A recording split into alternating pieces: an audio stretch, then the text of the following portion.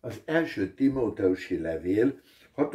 részének 17-től a 19-ig terjedő versei következnek.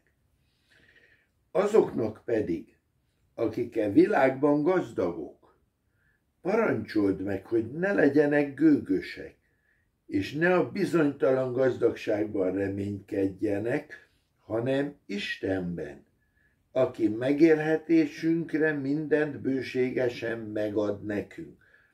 A gazdagok tegyenek jót, legyenek gazdagok a jó cselekedetekben, adakozzanak szívesen, javaikat osszák meg másokkal, gyűjtsenek maguknak jó alapot a jövendőre, hogy elnyerjék az igazi életet.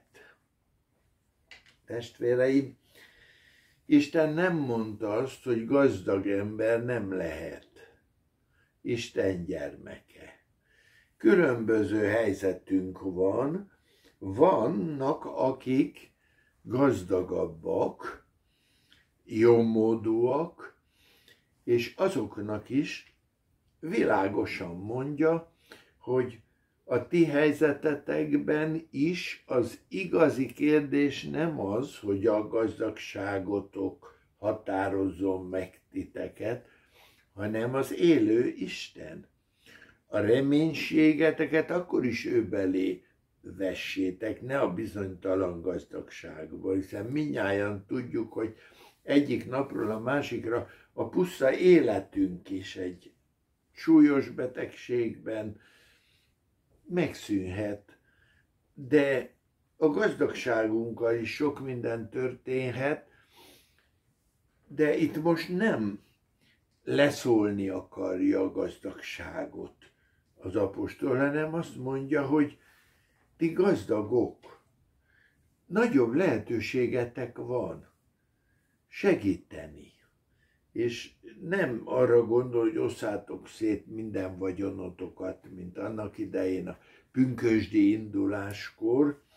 Van, akinek az útja egyedül így megy, de általában azt mondja, hogy a jobb módúak legyenek úgy Isten gyermekei, hogy kész szívvel adnak és legyenek úgy Isten gyermekei, nem felfuvalkodnak, fentordják az órukat, vagy feljebb valónak tekintik magukat másoknál, hanem adakozzanak szívesen, és javaikat is osszák meg. Testvéreim, nagyon sokszor a hívő életünk azon mérhető, hogy mennyire vagyunk készek a javainkkal is Isten rendelkezésére állni. Elmondta egy idős ige hirdető, hogy régi barátjával találkozott, gyermekkori iskola társával, és úgy együtt indultak a hitben. És hát hosszú-hosszú évtizedekig nem találkoztak. Közben nagyon gazdag ember lett a másikból, és nem is tudta pontosan, hogy hol tart most.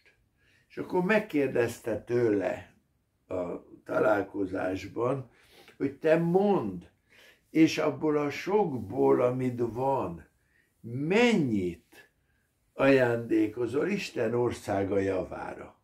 És tudjátok, mit válaszolt az illető? Te ide figyelj! Hát csak nem képzeled, hogy én úgy lenézem azt a hatalmasnál is hatalmasabb Isten, hogy ő rászorul az én adakozásomra. Hát azonnal tudta, hogy ez már egészen más út, mint mikor fiatalon együtt elindultak a hitben.